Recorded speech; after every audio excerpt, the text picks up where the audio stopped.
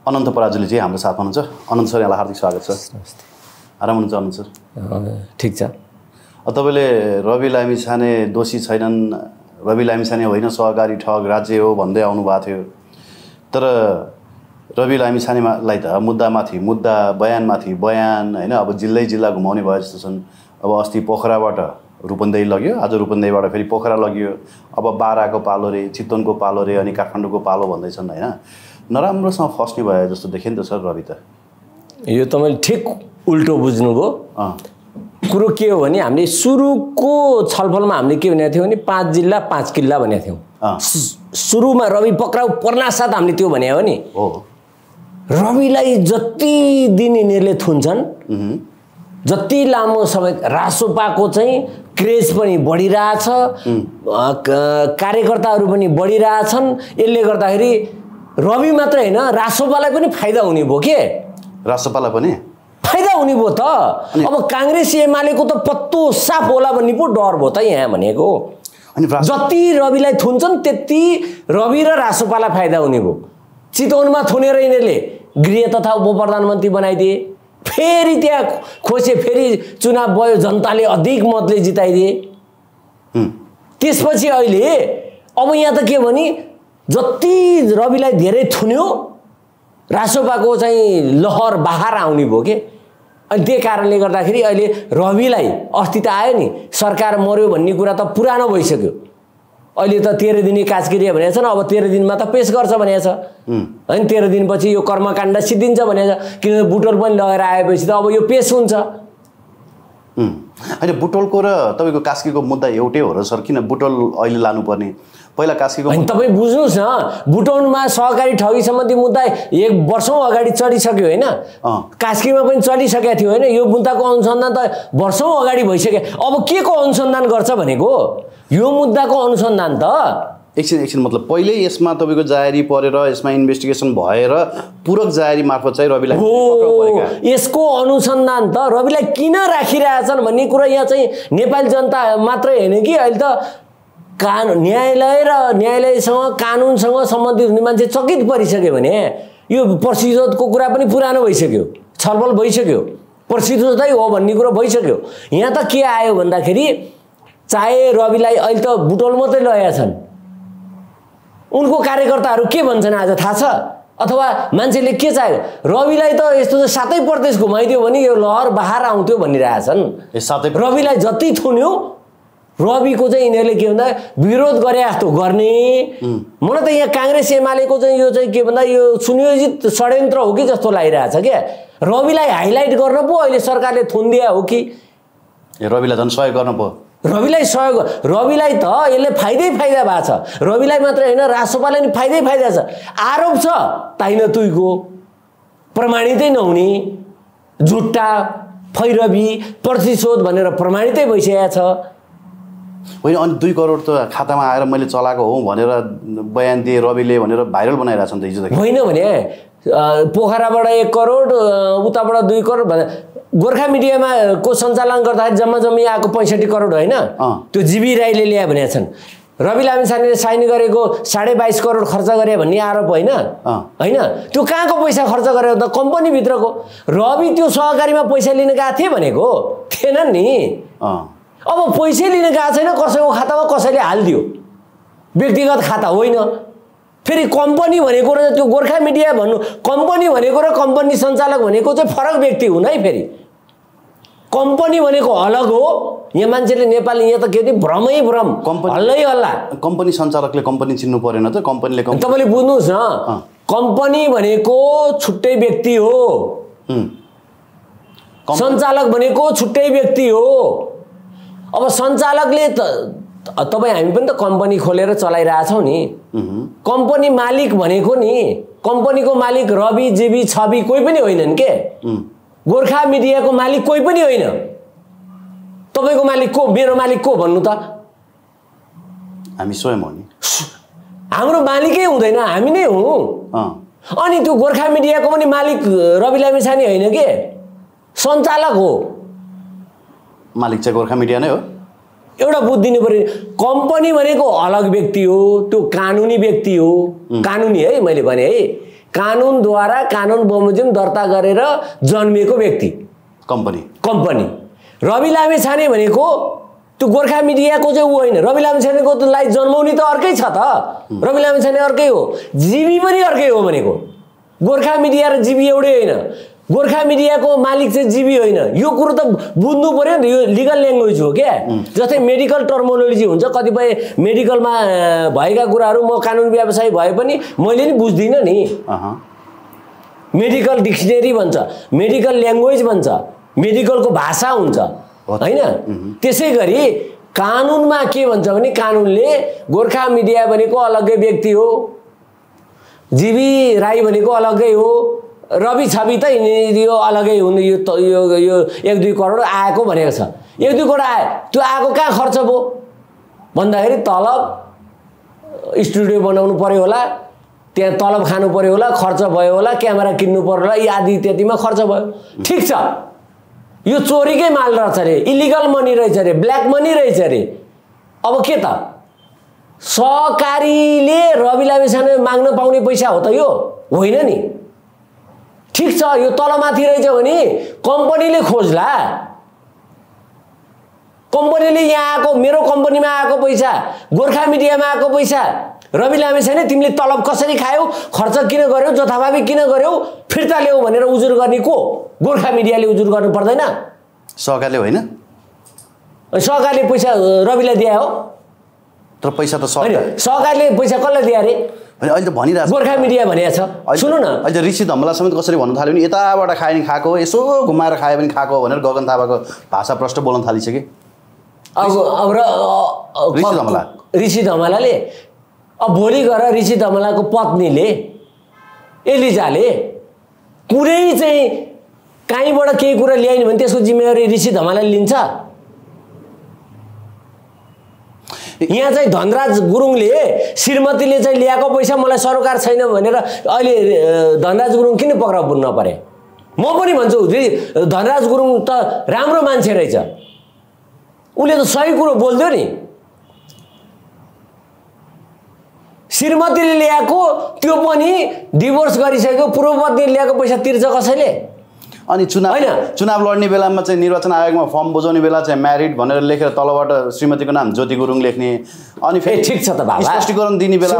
स्पष्टीकरण दिने बेलामा चाहिँ डिभोर्स भइसकेको। यो देवानी मुद्दा होइन। यो लेनदेनको मामला होइन। फौजदारी मुद्दामा के हुन्छ भने सिधा कुरा हुन्छ। फौजदारी मुद्दामा दायाँ बायाँ तलमाथि हिसाब किताब हुँदैन। कि त ऊ कन्भिक्ट हुन्छ कि ऊ अपराधी हुन्छ कि उसले सफाइ पाउँछ। दायाँ बायाँ कुरै छैन फौजदारी अपराध। फौजदारी अपराधमा प्रति व्यक्ति प्रमाण पुर्याउनुपर्छ प्रति व्यक्ति। कसैको श्रीमतीले गएर खुकुरी हान्यो भने श्रीमानलाई लगेर पक्रिनु मिल्छ। फौजदारी मुद्दामा भन्दैछु है।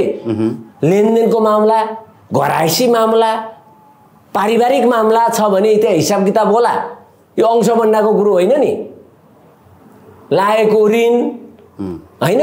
कमाएको धन एका सबलका परिवार सबैले मिलिजुली नरम करम मिलाएर बन्ना गर्नुपर्छ भने जस्तो कानुन हुँदैन नि। यो देवानी मुद्दाको विषय। लेनदेनको मामला।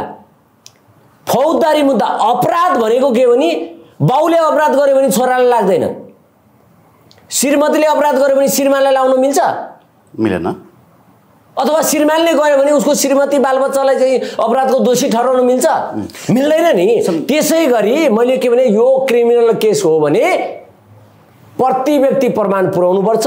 रवि लामेछाने काठमाडौँमा बसेका छन् काठमाडौँमा मिडिया व्यवसाय गरेका छन् राजनीतिक पार्टी खोलेका छन् चलाएका छन् उनले गरेको दोष खाएको बिस लाग्छ नखाएको बिस लाग्छ। यहाँ तथ्यको कुरो हुन्छ प्रमाणको कुरो हुन्छ। गोल मोटल रूपमा गोसबारामा चाहिँ मान्छेलाई मुछेर मान्छेलाई राजनीतिक प्रतिशोधको आधारमा चाहिँ यिनीहरूले जसरी थुनेका छन् अब राजसोपा र चाहिँ यो रवि लामिछानेले यसबाट फाइदा। हुन त राजसोपासँग मेरो लिनु दिनु नि केही छैन। रवि लामिछानेसँग नि केही पनि लिनु दिनु छैन। म त सहकारी पीडितको मुद्दा हेर्ने वकिल हो नि। मैले रविको पक्षमा बहस गरेको होइन। मैले रविको लामिछानेसँग मेरो लिनु दिनु छैन। साइनो छैन नातागोता पर्दैन। राजसभा भन्ने पार्टीसँग पनि मलाई मतलब छैन। ए एउटा कुरा नि तर एउटा के भने हरेक मान्छेलाई कानुनको नजरमा हरेक नागरिक समान हुन्छ भनिसकेपछि यो राज्यले सत्तामा हुँदाखेरि रविलाई लगेर प्रयोग गर्ने पटक पटक प्रयोग गर्ने काङ्ग्रेस एमाले त्यसको बेनिफिट लिने अहिले आएर प्रतिशोधको राजनीति गरेर वैकल्पिक शक्तिमाथि प्रहार गर्न चाहिँ पाइँदैन है भन्ने चाहिँ आम नेपाली जनताको चाहिँ यो चाहिँ एउटै मात्रै आ आभार हो। अहिले मान्छे चाहिँ सडकमा आए निक्ले रवि लामिछानेले त्यस्तो रहेछ व्यक्तिगत नराम्रो पारिवारिक रूपमा आचरण विभिन्न कुरा ल्याइरहेछन् त्यो रविको मामला होइन नि। अहिले रविको पार्टीमा त सबै गएको मैले अस्ति चाहिँ एउटा अध्ययन गरेँ क्या। अनि एकजना डाक्टर साहबले नि भन्नुभयो रविको पार्टीमा त खातखुत्तै एमाले र काङ्ग्रेसको कार्यकर्ता पो रहेछन् त भनेर भने। एमाले छाड्दै काङ्ग्रेस छाड्दै सबै चाहिँ रासोपामा मान्छे चाहिँ ओहिरो लाएर रहेछन् क्या। अब कसरी रोक्ने भन्दा अब एमाले र काङ्ग्रेसलाई जोगाउने हो भने चौरासीमा चुनाव लड्न जाने हो भने काङ्ग्रेस एमाले रासोपा नसिद्धाइकन भन्छ यिनीहरूको खैरियत भएन। एमाले र काङ्ग्रेस पार्टी जोगाउनको लागि रविलाई सिद्ध्यायो हो। त एमाले र काङ्ग्रेसको कार्यकर्ता नै तपाईँले हेर्नुहोस् त सयमा बिस पर्सेन्ट मान्छे इन्डिभिजुअल एउटा इन्टेलेक्चुअल मान्छेहरू त्यहाँ गएका रहेछन् मेरै गाउँमा पहिला एमालेबाट चाहिँ जितेर वडा अध्यक्ष खाएको मान्छे अहिले रासोपाको नेता भएको छन् अनिखेरि कुरो गर्नु। होइन राजसभामा मान्छे कहाँ गयो भने नयाँ भर्खरको जन्मेको बच्चाको उमेरै पुगेको छैन। अँ। राजसभामा जाने मान्छे। एट्टी पर्सेन्ट काङ्ग्रेस एमाले अलिअलि माओवादी छिटफुट माओवादी अरू अरू पार्टीका छिटफुट बाँकी त एट्टी पर्सेन्ट त काङ्ग्रेस एमालेबाट गएका रहेछन्। अब काङ्ग्रेस एमालेको मान्छे रित्तो हुने भयो के? ए काङ्ग्रेस एमाले काङ्ग्रेस एमाले जोगाउने हो भने राजसभा सिद्धाउनु पर्ने भयो। अनि राष्ट्रसभाका सांसदहरूलाई पनि मुद्दा लगाउने भन्ने कुरा पो आइरहेछ त अ- अदालतको अपहेलना के के भन्ने होइन भने अब जसले त्यहाँ चाहिँ त्यो राज यो पोल खोलिरहेछन् नि त्यहाँको भाइटल नेता तिनीहरूलाई त विग्रह ल्याउनु छ विभाजन गर्नु छ। अस्ति भने कार्यवाह किन नदिएको रविको उपाध्यक्ष त फलानो थिनालोलाई बनाएको भए हुन्थ्यो। किन कार्यवाह नदिएको किन नदिएको यो पार्ट यिनीहरूले काङ्ग्रेस एमालेको नियत के रहेछ? रविलाई लगेर थुन्ने राजसभाको चाहिँ पार्टीको अध्यक्ष चाहिँ अरू मान्छेलाई बनाउने। त्यो यिनीहरूको डिजाइन। डिजाइन थियो। राजसभाले त्यो कुरो बुझेर के निर्णय गर्थ्यो केन्द्रीय समितिले? थाहा छ? डिपी अर्यालले त बोले क्या अरे रवि चाहिँ सुन्नु। रवि नमरुन्जेल आ सभा- राजसभाको सभापति रवि। तर रवि आफैले के भनेका छन्? यी काङ्ग्रेस र एमालेको जस्तो होइन? रियाल काडुन्जेल किडनी फेरुन्जेल उसले अध्यक्ष खान्छु भनेको छैन नि। जम्मा जम्मी दुई कार्यकालभन्दा बस्दिनँ है। राजसभामा एउटा नीति रहेछ अस्ति मैले एउटा राजसभाको केन्द्रीय सदस्यसँग छलफल गरेँ कि? के भन्छ दुई कार्यकालभन्दा बढी एउटा पदमा बस्नै नमिल्ने अब रवि लामिछाने धन्दा धन्दी धेरै भयो दुई कार्यकाल भनेको अब कति वर्षसम्म अधिवेशन गर्ने भनेको छ दुई कार्य भने दस पाँच वर्ष नै बस्ने भए। होइन दुई तिन वर्ष भइसक्यो एक दुई वर्ष भइसक्यो। अरूको जस्तो ब्रह्मनालमा पुगुन्जेल छ सभापति छैन भनेको अहिले राजसभा मात्रै एउटा त्यस्तो पार्टी हो त्यस्तो उदार एउटा लोकतान्त्रिक प्रजातान्त्रिक जनतान्त्रिक पार्टी हो। उसले चाहिँ एउटा साधारण सदस्य चाहिँ म पर्सि छ महिनापछि चाहिँ त्यो अधिवेशन हुँदैछ के अरे? रवि लामिछानेसँगै सभापतिमा चुनाव लड्छु भन्यो भने एउटा एउटा चाहिँ त्यो एक हजार लिन्थे पहिला त अहिले कति दिन सदस्य बनेको एउटा साधारण सदस्य कुनै जुम्ला हुम्ला कालीकोट होइन? कास्की चितवनको कुनै पनि एउटा नागरिकले म चाहिँ सभापतिको उम्मेद्वार हुन्छु भन्यो भने त्यहाँ सभापति लड्न पाइन्छ। काङ्ग्रेस एमालेमा पाइन्छ त्यो प्रजातान्त्रिक भन्छन्। प्रजातान्त्रिकको दुहाई दिन्छ नेपाली काङ्ग्रेस। एमाले त अब यो कम्युनिस्टको नाममा कलङ्क भनेका छन् होइन? अनि केपी ओलीलाई चाहिँ यो चाहिँ नेपाली राजनीतिको क्यान्सर भनेका छन् होइन? ठिक छ अब फेरि त्यस्तो कुरा गऱ्यो भने केपी ओलीबाट फेरि होइन मुद्दा लाग्ला। एउ- एउटा कुरा मैले नबुझेको कुरा अलिकति बुझाइदिनुहोस् ल म अलिकति प्रश्न लामो होला म अलिक प्लिज। म अलिक ठ्याक्कै राख्छु ल। काङ्ग्रेसका विशेष गरी अब गगन थापा विश्वप्रकाश र यिनै अहिलेका गृहमन्त्री रमेश लेखकले चाहिँ संसदमा पटक पटक चर्को स्वरमा भन्नुभयो हामीसँग प्रमाण छ। अहिलेको गृहमन्त्रीज्यू सहकारी ठगीमा इन्भल्भ हुनुहुन्छ हामीसँग प्रमाण छ प्रमाण छ भन्नुभयो। त्यस पछाडि रवि लामिछानेज्यूले नै होइन सहमति दिएर छानबिन समिति गठन गर्यो। छानबिन समितिले तिन महिना लगाएर प्रतिवेदन जारी गर्यो। प्रतिवेदनमा व्यक्ति रवि लामिछानेले कुनै पनि सहकारीबाट पैसा नलिएको तर गोर्खा मिडियामा आएको रकम अपचलन गरेको भनेर निकै लगभग लगभग एक हजार पृष्ठभन्दा लामो चाहिँ तपाईँको तेह्र सय नै पृष्ठ एक हजार पृष्ठभन्दा लामो चाहिँ तपाईँको प्रतिवेदन जारी गर्यो। त्योभन्दा अगाडि पनि गोर्खा मिडियाको हकमा कास्की तपाईँको जिल्ला प्रहरी कार्यालयमा सूर्यदर्शन सहकारीको तर्फबाट त्यहाँका पीडितहरूले चाहिँ जाहेरी दिइसक्नु भएको थियो यहाँले भने जस्तै एक वर्ष अगाडि। त्यति बेला नै मुद्दा अदालतमा गइसकेको रहेछ त्यो चलेन त्यतिखेर रवि लामिछाने विरुद्ध मुद्दा चलाएन रवि लामिछाने विरुद्ध त जाहेरी गएकै थिएन तर पनि तथापि- अन्य अन्य अन्य सञ्चालकहरू र अन्य तपाईँको त्यहाँ लुट पनि त्यही हो। विरुद्ध चाहिँ तपाईँको जिल्ला अदालतमा मुद्दा विचाराधीन थियो होइन? बुटवलमा पनि त्यही हो, चलिरहेछ। पूरक जाहेरी पर्यो पूरक जाहेरी पश्चात चाहिँ अब अहिले रवि लामिछाने पक्राउ पर्नु भएको छ अरुण कुमार चौधरीलाई बाँसबारी छालाजुत्ता कारखानाको केसमा पक्राउ गर्दाखेरि अदालतले डिक्टेट गरेर के भन्यो भने दुई दिनभित्र अनुसन्धान सक्नु पचास हजार 50,000 मा रुपियाँमा छोड्नु भन्यो। हो। अब अहिले रवि लामी छानेको यत्रो प्रतिवेदन आयो त्योभन्दा अगाडि पनि प्रहरीले इन्भेस्टिगेसन गरिरहेको छ। छविलाल जोशीजीलाई पक्राउ गरेको पनि यत्रो दिन भइसक्यो। तर पनि उनीहरूले म्यादमाथि म्याद म्यादमाथि म्याद यो थप्नुको कारण चाहिँ राजनीतिक प्रतिशत होइन। कसरी भन्ने सर? राजनीतिक प्रतिशोध हन्ड्रेड पर्सेन्ट यो प्रमाणित भइसकेका विषय। दोस्रो कुरो तपाईँले भन्नुभयो प्रमाण छ भनेर। विशेषतः गगन थापा एउटा प्रजातान्त्रिक नेपाली काङ्ग्रेस पार्टीको म चाहिँ नि युवा नेतृत्व हुँ र भोलि भविष्यमा म नेता बन्ने हो भनेर अहिले हुङ्कार गर्दै हिँडिरहेछ। एउटा कुरो स्मरण गराउन चाहन्छु गगन थापालाई। अहिले त नेपाली काङ्ग्रेसको उनी त के अरे महामन्त्री नै छन् के अरे उम्, होइन? गगन थापाले रवि लामेछानेसँग को दाँजोमा प्रतिस्पर्धा गर्नै सक्दैनन्। तिनी कतिसम्म रहेछन् गगन थापालाई चुनाव जिताउने को होला भनिदिनुहोस् त। रवि लामी छाने स्पष्ट छ। गगन थापालाई घन्टी चिन्ह बाहेक त्यहाँको चाहिँ उम्मेदवारले उम्मेदवारी फिर्ता नलिएको भए उनी चाहिँ अहिले संसद पनि रहँदैन थिए आज गगन थापाले ठुलो कुरा गर्ने। आज गगन थापाले तिनकै तिनकै पार्टीका मनिष झा जसलाई यिनीहरूले चाहिँ अपहेलनामा मुद्दा चलाउँछु भनेर खेदिरहेछन् तिनकै पार्टीको चाहिँ सोनी मगले जो चाहिँ राष्ट्रिय योजना आयोगको चाहिँ पनि। उपाध्यक्ष भएर काम गरे आज राजसभामा छन् यिनलाई के भनेर धम्काइरहेका छन् गगन थापाले तपाईँलाई म यो खुलासा गरिदिन्छु। यो धम्काइरहेको छन् अहिले? धम्काइरहेछन्। तपाईँ हामी हिजो चाहिँ सँगै काम गरेको। तपाईँ हामी नेतृत्व तपाईँ नेतृत्व दाबी गर्नुहोस्। सोनी माउगलेलाई उक्साइरहेछन् तर सोनी माउगलेले चाहिँ यो कुरो बुझेका छन्। त्यही भएर उनले चाहिँ कुनै पनि दाबी गरेका छन्। उनले गगन थापाको नीति भने जुन पार्टी जुन रवि लामी छानेले अथवा जुन राष्ट्रिय स्वतन्त्र पार्टीले घन्टी पाएको उम्मेदवारलाई चाहिँ उम्मेदवारी झिक्न लाएर यी पनि युवा हुन्। सधैँभरि यी बुढाखाडाको होइन? अब नेपाली काङ्ग्रेसमा रियाल काट्दै हिँड्ने चाहिँ शेरबहादुर देउबा गलगाँडा भएर बसिया छन् नेपाली काङ्ग्रेसको। घाँडो भइरहेछ नेपाली काङ्ग्रेसलाई। तिनी पनि कहिले बिदा हुन्छन्?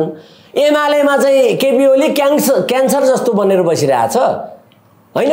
भोलि त त्यो एमालेको युवा नेतृत्व काङ्ग्रेसको युवा नेतृत्व रासोपाको नेतृत्व वैकल्पिक शक्तिहरू र युवा जगतहरू चाहिँ यो नयाँ नेपाललाई नयाँ नेपाल निर्माण निर्माण गर्नको लागि युवाहरू एक ठाउँमा हुनुपर्छ भनेर प्रदीप पौडेली पनि अहिलेको स्वास्थ्य मन्त्री।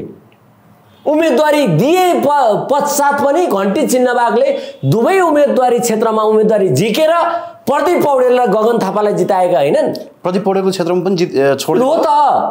त्यहाँ पनि कहाँ घन्टी बाग थियो त? घन्टी बाग उम्मेदवार भयो भने त्यहाँ जित्दै जित्दैन थियो त। ए भनेपछि गुण राम्ररी तिरेछन्। होइन त्यसको अब खुनको बदला खुन गुणको बदला गुण तिर्नुको साटो गगन थापा अहिले के भन्यो भने पाएसम्म रासोमा फुटाइदिने। तर गग स्वर्णिम बगले र मनिष झाले कुरो बुझे इन्कार गरे। हामी तिम्रो लैलेमा तिम्रो कार्यकर्ता होइन है अहिले। मनिष झा र चाहिँ स्वर्णिम बगले दुवैले हामी अहिले नेपाली काङ्ग्रेसको कार्यकर्ता हामी राष्ट्रिय स्वतन्त्र पार्टी वैकल्पिक शक्तिमा लागेको काङ्ग्रेसबाट केही पनि यो देशमा हुँदैन भनेर काङ्ग्रेस छोडेको व्यक्ति हो। तिम्रो आदेश मान्दैनौ भनेपछि के गर्यो भने तिमीलाई मुद्दा लाउँछु। खगरदार गगन थापा तिमीलाई हिजो चाहिँ तिम्रो पार्टीमा रहन्जेल तिम्रा कार्यकर्ता थिए होला मनिष झा आज वैकल्पिक शक्ति यो देशमा हुनुपर्छ भनेर जो जो आउँछन्। सकभर त गगन थापा आफै हामी वैकल्पिक शक्ति भनेर चाहिँ आउनु पर्थ्यो। शेरबहादुर देउबाको केपी ओलीको पछाडि लागेर अब देशले तरक्की पाउँदैन। युवाहरूले त विद्रोह गर्नु पर्थ्यो। त्यो आँट त्यो हिम्मत गगन थापामा भएन। त्यसपछि के गरे भन्दाखेरि रासोपालाई फुटाउन सकिन्छ कि भनेर भड्काए। त्यो बुझिसकेपछि अहिले त्यो शब्द आएको हो। तपाईँ नेपाली जनता अथवा सम्पूर्णलाई के कुरा क्लियर गर्न चाहन्छु भने मैले रासोपाले आजीवन रवि लामिछानेसँग रहेसम्म सभापति हुने हुँ भनेर उपाध्यक्षले भने तापनि रवि लामिछाने आफैले के भनेका छन् भन्दा दुई कार्यकालभन्दा म यो चाहिँ पदमा बस्दिनँ भनेपछि यो कुरा क्लियर हुनुपर्छ। राष्ट्रिय स्वतन्त्र पार्टी भनेको वैकल्पिक विचार हो। व्यक्ति त्यहाँ खराब असल जो पनि हुन सक्छन् त्यो भए तापनि राष्ट्रिय स्वतन्त्र पार्टी लगायत हर्क बालेन गोपी हमाल लगायत राजेश हमाल पनि अहिले आउने भनिरहेछन्। होइन?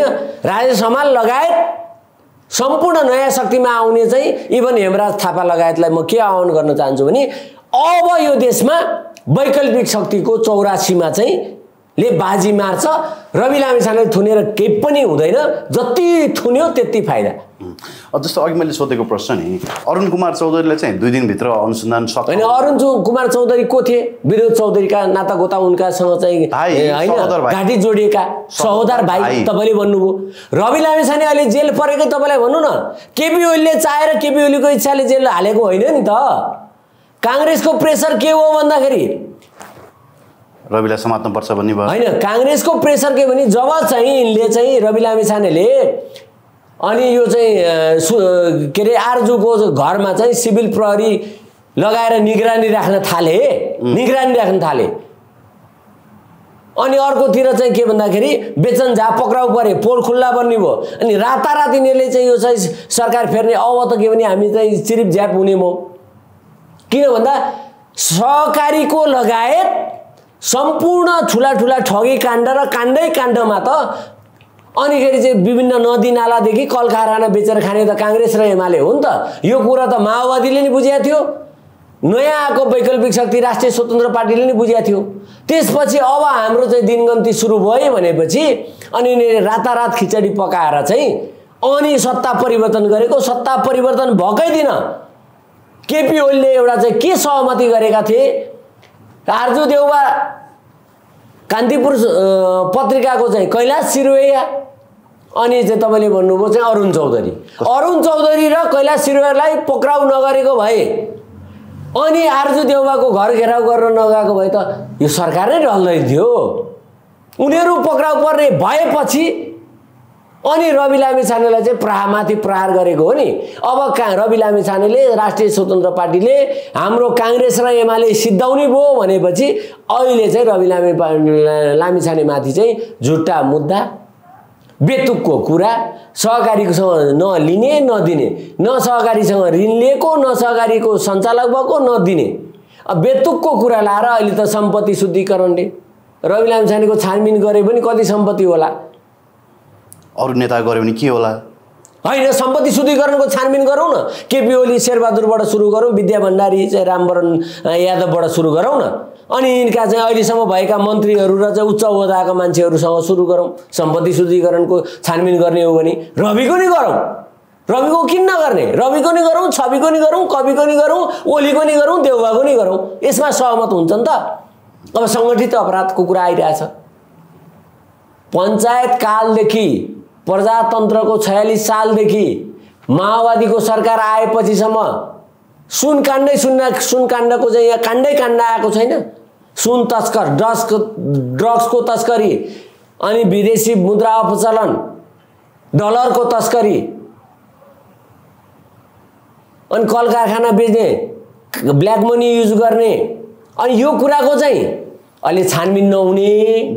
किन भन्दा यिनका काण्डे जापानको नायिकै अहिले त्यो बिचरा त्यो लीला बल्लभलाई बलीको बोको बनाएछन्।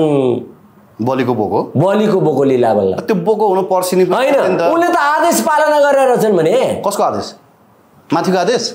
ए बाबा नेपाल सरकार भुटानी हजारौँ मान्छेलाई चाहिँ विदेशमा गैर नागरिक बनाएर होइन भुटानी शरणार्थी बनाएर यही सरकार होइन यही सरकारमा भने यही काङ्ग्रेस एमालेको नेताहरू होइन यही पार्टीका नेताहरू होइन भनेको। मानव तस्करी गर्ने अहिले त यो चाहिँ लीला बल्लभलाई यो के अरे यो मानव बेचबिखनले मुद्दा चलाउनु पर्ने उहाँ कहाँको चाहिँ त्यो प्रहरी प्रशासनले कृतिमा मुद्दा चलाउने पो कुरा छ अरे किर्ते कागजात कहाँको भनेको? उयो अरुण चौधरीलाई जस्तै ल्यायो छोरे पचास हजार दौडी राखेर जाउ भने जस्तै। यो त नौटङ्की हो नाटकै हो के यो? उनलाई पनि छोडिसक्यो केपी ओलीले के आयो भने प्रेसर के आयो भने तिम्रा कार्यकर्ता पर्काउ गर्दैन किन रविलाई थुनेको किन धनराजलाई नथुनेको भनेर चाहिँ आरोप आइरहेको बेला देखिस् हामीले त यो चाहिँ लीला बल्लभलाई कानुन मन्त्रीलाई ल्याएर थुनेका छौँ नि त। एमालेकै मान्छे नि थुन्यौ नि भन्ने। अनि के गर्यो? दुई दिन म्याद थप्यो भने दुई दिनमा छानबिन गरेर ल्याऊ भने चाहिँ अब कति दिनमा छोडिदिन्छ त्यही अरुण चौधरी जस्तै दुई दिनमा छाने बिस पचास हजारमा छोडिदिन्छ। दुई दिन। रवि लामिछानेलाई चाहिँ तेह्र दिन म्याद थप्नुपर्ने। जुन चाहिँ एक वर्ष अगाडि चलेको मुद्दामा अनुसन्धान भइसकेको विषयमा। बिना तुक। अनि लीला बल्लभमा दुई दिन। यो न्यायालयमाथि प्रभाव जमाएको होइन न्यायालयलाई प्रेसर दिएको होइन। न्यायालय के हेरेर बसिया छ? दुई दिनमा के छानबिन हुन्छ भने मानव तस्करीको जापानमा लगेर मानव मान्छे बेच्न लागेको अनुसन्धान चाहिँ दुई दिनमा सकेर ल्याऊ भन्ने। अनि एक वर्ष अगाडि नै अनुसन्धान भएर मुद्दा चलिसकेको विषय पूरक अभियोगमा चाहिँ तेह्र दिन सात दिन आठ दिन गरेर महिनौ दिन भइसकेन। यस्तो विभेद हुन्छ। दुई दिनमा तपाईँ भनौँ न जापानको इमिग्रेसनले फुल प्रुफ इभिडेन्स दिएको होइन। यो इलिगल मानव तस्करी गर्न आयो भनेर सांसद मन्त्री जस्तो मान्छेलाई फर्काइदियो होइन। हो त। यहाँ त के भयो भने अन्तर्राष्ट्रिय दबाब पऱ्यो। लीला बल्लभलाई पक्राउ नै गर्दैन थियो एमाले सरकारले। पक्राउ गर्ने भएदेखि एयरपोर्टबाट पक्राउ गर्नु पर्दैन। होइन तपाईँ जापानबाट नेपाल आएर नेपालबाट झन्डा हलाउँदै झापा गएको होइन लीला बल्लभ अधिकारी। त्यतिसम्म पनि थियो कि? तपाईँको लगभग लगभग केस डिसमिस हुन्थ्यो अरे। बिचरा त्यो जापान गएर फर्किने केटाहरूको पैसा डुब्छ भनेर अनि बल्ल कम्प्लेन गरेछन् तिनले। ती त पीडित भयो नि त। अनि- अनि- अहिले त यहाँ पीडितलाई चाहिँ मुद्दा चलाउने। लीला बल्लभलाई छोडिदिने भन्ने चाहिँ सुनियोजित षड्यन्त्र चाहिँ केपी ओली सरकारले गरिरहेछ भन्ने कुरा आइरहेछ। अनि बचाउनु पऱ्यो भने त। एमालेको इज्जत जाँदैन सर। होइन एमालेको इज्जत जान्छ। एमालेको एमाले के तस्करीको पार्टी मानव तस्करकोलाई संरक्षण गर्ने पार्टी हो। यो देशमा प्रधानमन्त्रीले एमाले अहिले सरकारको प्रमुखले मानव तस्करी मुद्दासँग जोडिएको व्यक्तिलाई संरक्षण गर्ने त तपाईँ भनिदिनुहोस् त। जापानबाट चाहिँ फर्काइदिसे जापानको इमिग्रेसनले यो गलत हो यो मानव तस्करीमा संलग्न भनेर मन्त्री जस्तो मान्छे रातो पासपोर्ट बोकेर जहाँ हुन्छ। उनलाई त रातो कार्पेट बिछाइन्छ। यहाँ त रातो कार्पेट बिछाएर स्वागत गर्नुपर्ने मान्छेलाई यहाँ एयरपोर्टबाट फर्काइन्छ। नेपालको एयरपोर्टबाट लीला बल्लभलाई पक्राउ गरेर भ्यानमा हालेर लानु पर्दैन यो काठमाडौँमा ल्याउनु पर्दैन। झन्डा हल्लाएर झापासम्म जान दिने हो। होइन कि सर यहाँ नेता भए पछाडि मिल्छ भने पहिला रातो पासपोर्ट बेच्ने नदीनाला बेच्ने अथवा सरकारी जग्गा ललिता निवास जस्तै गरी बेच्ने। सरकारी सम्पत्ति बेच्ने। होइन नभए कल कारखाना बेच्ने। कल कारखाना बेच्ने नभए अहिले त यहाँ चन्द्रगिरीको डाँडो त बेचे बेचे। ऊ त सुन्नु, सुन्नु। मुकुलुङको डाँडो पनि बेचे। होइन ताप्ने पाथिबराको डाँडो बेचिदिनु लागेछ जनताले विरोध गर्न थाले।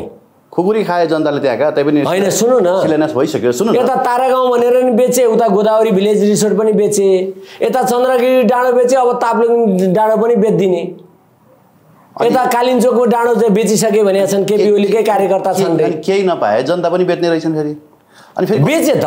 कसरी बेच्ने रहेछन् भने नि सुन्नुहोस् न। अमेरिकामा बेचेको अब फर्स्ट आयो भनेर जापानमा बेच्न थाले। अब युरोपतिर बेच्छन्। होइन यस्तो रहेछ क्या सर। त्यो तोपबहादुर रायमाझीले कसलाई बेचे भन्दाखेरि उनी माओवादी हुँदाखेरि आफ्ना कार्यकर्ता जो जो थिए तिनलाई बेचे मतलब बनाएका रहेछ नि त। बुझ्यो होइन? काङ्ग्रेसले के गरे काङ्ग्रेस काङ्ग्रेस छानेर बेचे होइन? अनि यो अहिलेको जुन मन्त्री परेका छन् नि यिनले चाहिँ सबै एमाले एमाले छानेर बेचेका रहेछन् क्या। यिनीहरूले आफ्नै पार्टीका मान्छे बेच्दा रहेछन् भने आफ्नै कार्यकर्ता बेच्दा रहेछन् क्या? कानुनको नजरमा ती लीला बल्ल भन्ने पनि कानुन व्यवसायी रे। हो रे त। होइन? लीला बल्लभ अधिकारी कानुन पढेका जानेका कानुन मन्त्री रे। नजानेले कहाँ- अनि अनि सुन्नु है त उनको मुख्यमन्त्री। हिक्मत कार्की भन्ने एउटा चाहिँ ऊ छ के अरे त्यहाँ? हिक्मत ऊ पनि कानुनको ज्ञाता रे होइन हिक्मत कार्कीलाई त धन्यवाद भन्नुपर्छ है? हिक्मत कार्की होइन होइन अनि बर्खास्त गरे? होइन अनि अर्को कुरो। अनि चाहिँ यता चाहिँ के भन्दाखेरि के हाम्रो अग्नि खरेदी के भने केपी ओलीको कानुनी सल्लाहकार रे। पूर्व महान्यायाधिवक्ता कानुन मन्त्री पनि रे। कानुन मन्त्री हो नि त। कानुन मन्त्री भएर केपी ओलीलाई सहयोग गर्नको लागि फेरि महाधिवक्ता बढेको के- अग्नि खरेल। पहिला कानुन मन्त्री बने दोस्रो पटक चाहिँ ऊ न्यायाधिवक्ता बनेका अब यिनी यिनी सबैको गठजोडमा यहाँ त लहरो तान्दा पहरो ज गरिदिन्छ भने त यहाँ त केन्द्र एमालेको त यो कहाँ त्यो उता प्रदेशको मुख्यमन्त्री प्रदेशको कानुन मन्त्रीको कुरा आइज उनीहरूले त माथिको निर्देशनमा ए नेकपा एमालेमा माथिको केन्द्रको निर्देशन भएको नै सिङ्को पनि भात्न पाउँदैन। बाको विरुद्ध कसैले विरोध गर्न पाउँदैन एमालेमा? ए एमालेमा एमालेमा केपी ओली बाको विरुद्ध आवाज उठाउनु पाइ उठाउनु पाइन्थ्यो भने अहिले अस्ति एघार रोपनीको चाहिँ विरुद्धमा चाहिँ भीम रावलले आवाज उठाएको होइन बिन्दा पाण्डेले आवाज उठाएको होइन। तिनजनालाई स्पष्टीकरण सोधिएन। उषा किरणलाई पनि घुस खाँदाखेरि उषा किरण घुस खाँदाखेरि नगद त खाएनन् जग्गा हो। व्यक्तिगत त खाएनन् पार्टीको कार्यालय बनाउन खाएको हो भने सर्वोच्चले त्यसलाई गलत गैर कानुनी घोषणित गरिदियो। होइन? आज पनि नैतिकताको आधारमा ना राजीनामा दिनु सट्टा केपी अहिले अहिले चाइना गुहारिरहेछन्। रे मलाई केही समय चाहिँ बस्नु पर्यो भनेर चाइना गुहारेर सत्ता टिकाउने खेलमा छन् अहिले केपी ओली। ल अब के भन्न सकिन्छ त उहाँहरूलाई? ल यो देश भनेको तस्कर दलाल माफियाहरूको चङ्गुलमा फसिसक्यो। हिजो अस्ति मात्रै एउटा फेरि अहिले चाहिँ नयाँ नौटङ्की सुरु भएछ है।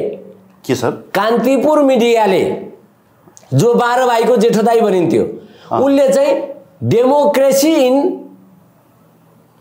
क्रस रोड के भनेर चाहिँ लोकतन्त्र चाहिँ दो बाटोमा भनेर बहस चलाइरहेको छ अहिले इन्डियादेखि अमेरिकादेखि नेपालका राजनीतिकदेखिलाई जम्मा गरेर प्रजातन्त्र लोकतन्त्र चाहिँ दो बाटोमा। कान्तिपुरले तय गर्ने हो भनेको नेपालको प्रजातन्त्र। कान्तिपुरले रेगुलेट गर्ने हो कान्तिपुरले छलफल गरेर र दिशानिर्देश गर्ने हो यो देशको प्रजातन्त्र लोकतन्त्र। त्यो रवि लामिछानेलाई लगाउने सम्पत्ति शुद्धिकरणको मुद्दा त्यो कान्ति अब त्यो कान्तिपुरको अहिलेको अति ट्वेन्टीको के अरे प्रधानमन्त्री केपी ओलीलाई नि बोलाएको छन् हिजो बोलायो त होइन? बोले त। अनि प्रचण्ड गरेर पनि त्यहाँ बोले रे भन्ने सुन्यो। मलाई चाहिँ बोलाए कार्यक्रम छ भनेर के के कार्यक्रम थियो म चाहिँ बिचमा किन गएको त भन्ने कुरा नि प्रश्न उठेछ। बाबुराम भट्टराई नि बोले रे यहाँ त के छ अरे भने अब पुरानोलाई कसरी टिकाउने नयाँ वैकल्पिक शक्तिलाई कसरी रोक्ने भन्ने चाहिँ छलफल कान्तिपुरले गराउँदैछ अरे रे। कान्तिपुरले? कान्तिपुरले नेपालको राजनीतिक व्यवस्थापन गर्ने छलफल छ चलाइदिएछ तपाईँलाई थाहा छ त अब तपाईँहरू भन्नु न। होइन? तर अस्ति जसरी काठमाडौँमा बाढी आयो रोकेर रोकिएन छेकेर छेकिएन कति विनाश भयो? बाढी आइसकेपछि आँधी तुफान आइसकेपछि आगो लागिसकेपछि कान्तिपुर त के?